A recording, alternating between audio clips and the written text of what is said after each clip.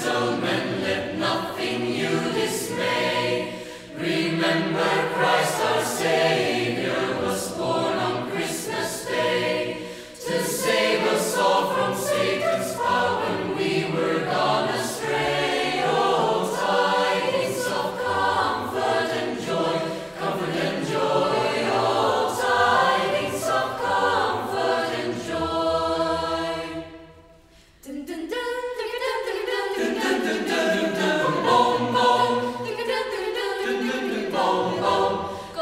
Mercy, Mary, gentlemen, let nothing you dismay. Remember Christ our Savior was born on Christmas Day.